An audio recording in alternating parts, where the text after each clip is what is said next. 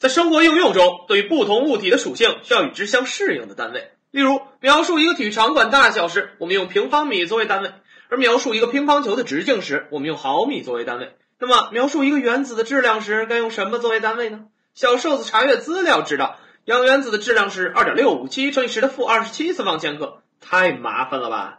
计算和书写都太不方便了，就没有一种简单点的表示方法吗？当然有，那就是相对原子质量。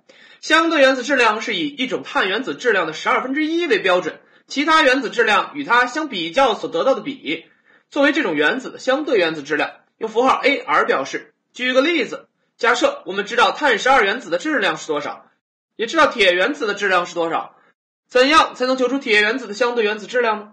我们可以先求出碳十二原子质量的十二分之一的数值，铁原子的相对原子质量就等于铁原子的质量与这一数值的比，等于五十六点三。取整数五十六，相对原子质量不用记忆，查阅元素周期表取整数即可。以上这些就是相对原子质量的定义求算方法。你要记住，它是该原子质量和碳十二原子质量的十二分之一的比值。你学会了吗？咯咯哒。